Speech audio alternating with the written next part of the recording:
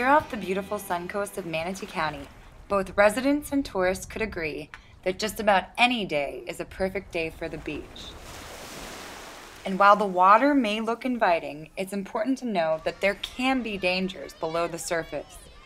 95% of Manatee County's water rescues are related to rip currents.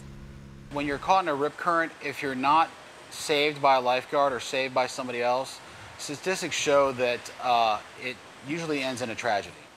Florida ranks number one for rip current deaths, and rip currents can happen anywhere. They're extremely common.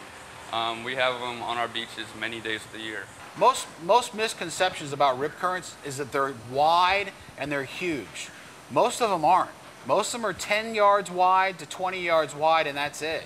And then they're 50 yards long. You'll feel a rip current as it pulls you offshore. You'll feel it pick up speed as it's closer to shore, the strength. As it goes further away from shore, you'll feel that rip current start to weaken. And all of a sudden you'll, you'll see yourself to where you're not, you're not traversing further away from the shoreline. At that point, it's safe not to swim back into the rip current, but swim either at a 45 degree angle or a 90 degree angle parallel to the beach, 15, 20 yards, and then swim in.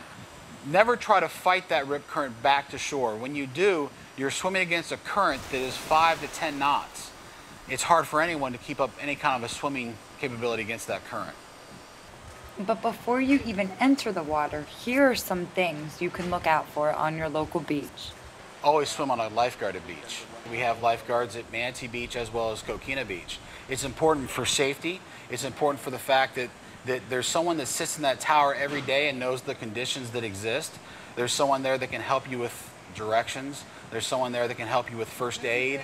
Uh, all of our staff are trained EMTs. We're all rescue divers.